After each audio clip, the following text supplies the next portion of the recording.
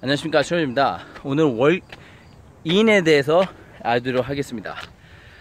그 많은 분들이 물어봐요. 밖에 나가서 걷거나 뛰면 월크인이냐고.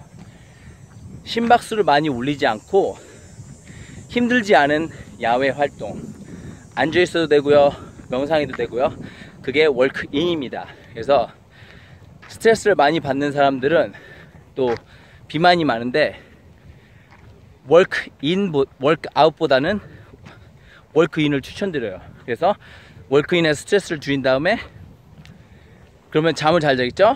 잠을 잘 자서 힘이 생기면 그때부터 운동을 월크아웃을 하시면 밸런스 있는 삶을 살 수 있을 것 같아요. 그래서 무턱대고 운동 세게 한다고 좋은 건 아닙니다.